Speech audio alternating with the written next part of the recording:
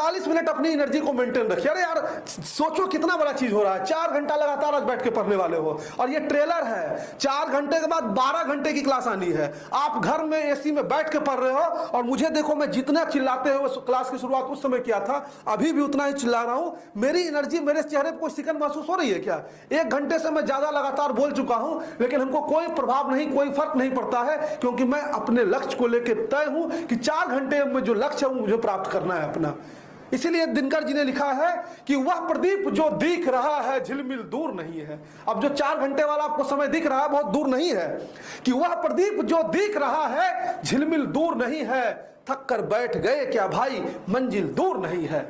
अपनी हड्डी की मसाल से हृदय चीरते तम का सारी रात जगे तुम दुख झेलते कुशिल निर्मम का।